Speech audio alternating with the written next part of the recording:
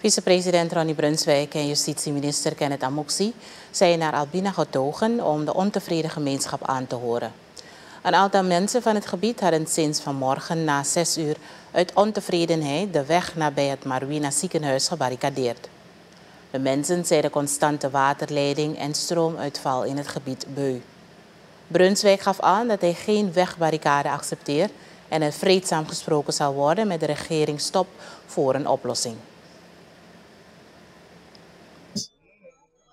na kurumike gutaki ya watataki namia bien na a directeur fu abs nanga a directeur fu swm mukotaki awi and a minister fu en hades nos ispon wana dima abia lein meke a kotaki awi meke wiye so tutere fene nyunga sinyaso wan ha if you look all the hustle man the man the hustle ya efi bai wa eskas yabe wa eskas ekos isabe ma eskas bonde na ukte na gyo te gwalen the night game, I put on I was my passport and I go there for name. Mas do fuwe wife name. This eight eight wataki unability. Ma miki wodi oku adi adi kusta kiere. Atafu yote pa pasi adi wa poi mo. That's all. Yo yote pa pasi. Da meke uku usefi ale speki. Da utaki na usefi samu pasa. Ma higo atafu shika ba. Fale ma ilibia na una ma wina.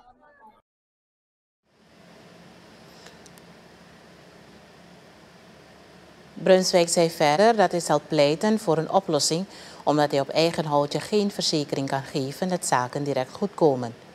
Justitieminister Kenneth Amoksi vertelde journalisten dat de samenleving haar problemen niet met geweld moet oplossen. Ik heb begrepen dat de DC uh, op Albina is en de vicepresident ook, dus ik ga nu naar daar. Heeft u een oplossing voor wat de, stro de stroomsituatie Voor wat betreft de stroomsituatie, ik heb begrepen uh, dat er vrijdag een andere machine, een nieuwe mach machine is, uh, is geïnstalleerd. Ja. Dus dat zou vlot zijn gelopen. Uh, ten aanzien van water, dus die rapportage, moest gaan naar de leiding van SWM hier in het district. Dus die rapportage hadden ze niet. Amoxie en Brunswijk zijn samen met districtscommissaris Clyde Hunswijk naar het commissariaatgebouw te Albina geweest om vertegenwoordigers van het gebied te spreken. Veel mensen uit het gebied verklaarden nog ontevreden te zijn over de plaatselijke situatie.